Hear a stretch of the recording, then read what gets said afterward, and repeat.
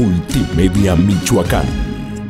Estamos trabajando, la verdad es un tema bien complejo porque las finanzas que me tocó recibir no han sido las mejores, mas sin embargo, pues tengo conciencia y eh, tengo toda la claridad para hacer las cosas bien y con mucha responsabilidad. He tenido una gran respuesta de los ciudadanos, estamos preparando ahora para el buen fin una posibilidad de una nueva oferta de condonar multas y recargos para que los ciudadanos aprovechen y se pongan al corriente y en enero ya tengan todos sus derechos a salvo.